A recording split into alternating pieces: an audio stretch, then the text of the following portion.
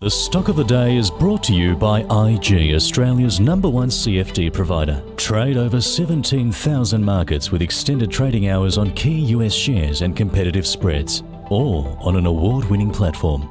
Get started at IG.com.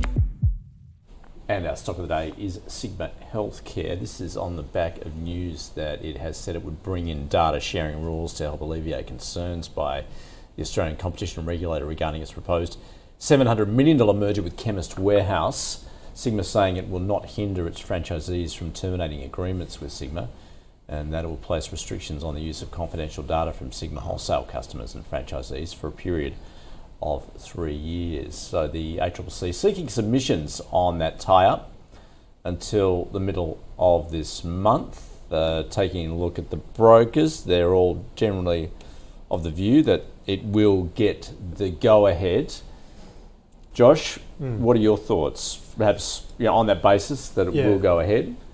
Yeah, I mean it's a very good rally it's had today, and I don't think um, the announcement was sort of guaranteeing that it will, although it does look likely.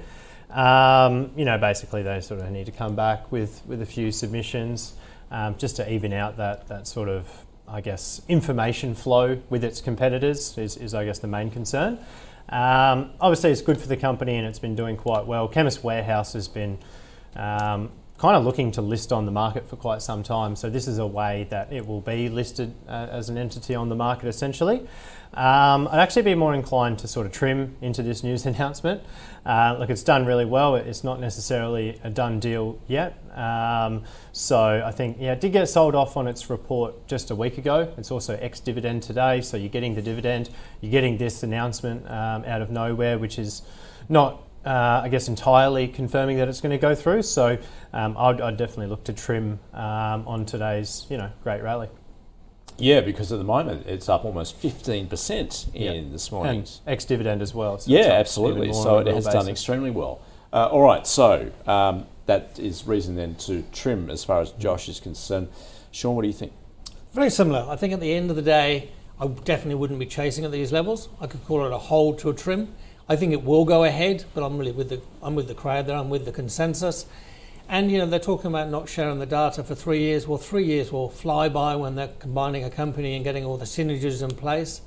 Um, I think it's a good deal. Stock is you know, going to benefit, but at these levels after this huge rally, trim or hold would be where I'd be coming from. All right. Well, that's fairly succinct then. Both saying uh, time to trim, given that stock is particularly today up substantially. That is our stock of the day, Sigma Healthcare. The stock of the day was brought to you by IG. Trade over 12,000 shares and ETFs, including major tech giants with extended hours on an award winning platform. Get started at IG.com.